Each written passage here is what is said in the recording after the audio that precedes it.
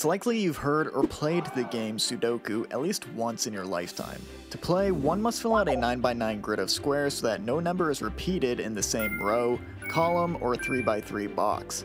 If you're able to fill out every cell on the Sudoku board without duplicates, congrats, you win the game.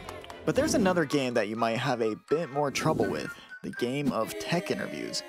Although not a pure indicator of development skill, technical interviews are part of almost every big tech company's interview process, so it's important to know the concepts these interviews present so you can pass with flying colors and get the job of your dreams.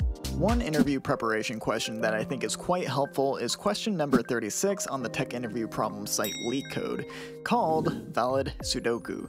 This question asks that we write a program that determines whether or not a given Sudoku board is valid, meaning no row, column, or box has a duplicate number 1 through 9.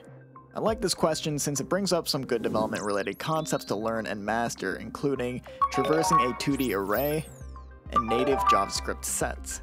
It also acts as a precursor to the more advanced Sudoku problem, Sudoku Solver, which uses an algorithmic technique called backtracking to programmatically solve an unfinished Sudoku board. We'll get there with time, but first, let's focus on the base problem of validating a Sudoku board.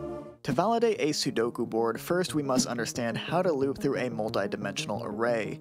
What is a multi-dimensional array? Well, it's just an array that contains arrays. Wow. Don't overcomplicate it.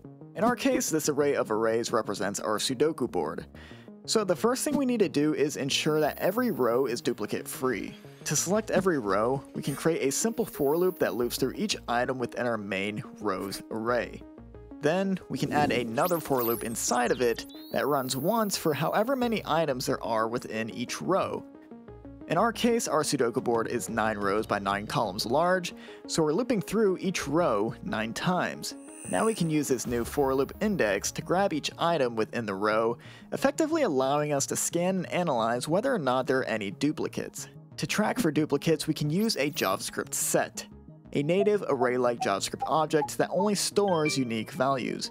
By creating a row set, scanning a particular row, then adding each value into our set, we can determine whether or not an item already exists in a row, ending the function altogether if so. But if no duplicate was found, we can wipe our set's contents completely, move on to the next row, and then do the exact same thing, checking for any duplicates that may be in the current row. If no duplicates were found for all 9 rows, we know our Sudoku board is valid for our rows, which brings us on to checking whether or not our board is valid for columns. To check that our column values are unique, we can keep things as is, we just need to change the way we're accessing our 2D array's values. By selecting our initial rows array, we can use our second for loops iterator as our initial index. Since j will be changing 9 times, once for each item within a row, we can use it to iterate through each row continuously. Now we can use our first for loops iterator, i, to select a particular column from these rows we're looping over.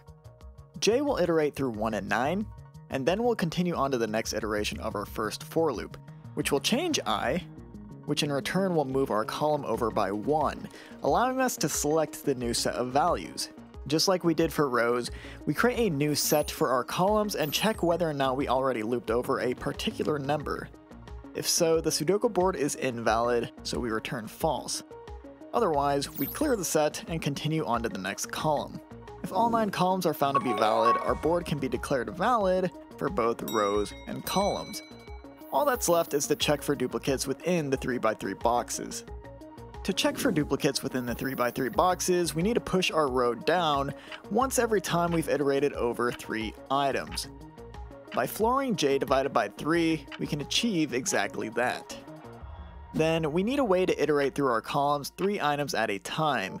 We can do this by getting the remainder of j divided by 3 using the modulo operator. Here you can see as j increases towards 9, our result is always iterating through 0 and 2, giving us the item selection format we need. However, this code will only ever rotate through the first box within our grid, so we need to add some code that pushes our box to the right as our row changes. If we multiply the current row value, represented by i, by 3, then modulo it by 9 to get the remainder, we can effectively space out our value selection by 3s depending on what row we're on. Here, if we're on the first row, we get a remainder of 0 so nothing is added, But if we're on row 1, we get a remainder of 3 after dividing by 9. So we push our selection over to the right by 3, while our J modulo 3 code continues to iterate by 3 items at a time.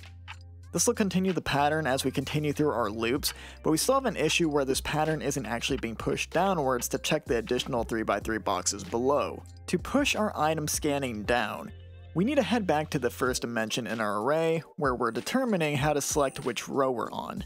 Here we can add on a math.floor that floor is the value of i divided by 3, so if we reach the second set of row boxes, this value will be 1. And if we reach the third set, this value will be 2. 1 and 2 aren't enough to push our box down by 3 items, so we need to make sure that we multiply this result by 3 to get the desired effect. Finally, we can add another set into our algorithm, check for the looped over characters, and clear our set at the end of each successful validation check. If no duplicates were found for our rows, columns, and boxes, we return true since we can definitively say the Sudoku board is indeed valid.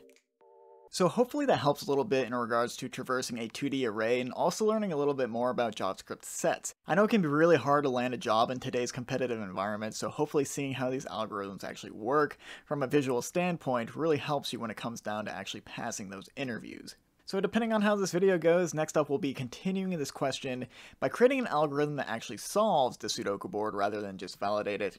So stay tuned, and I'll see you in the next one. Peace.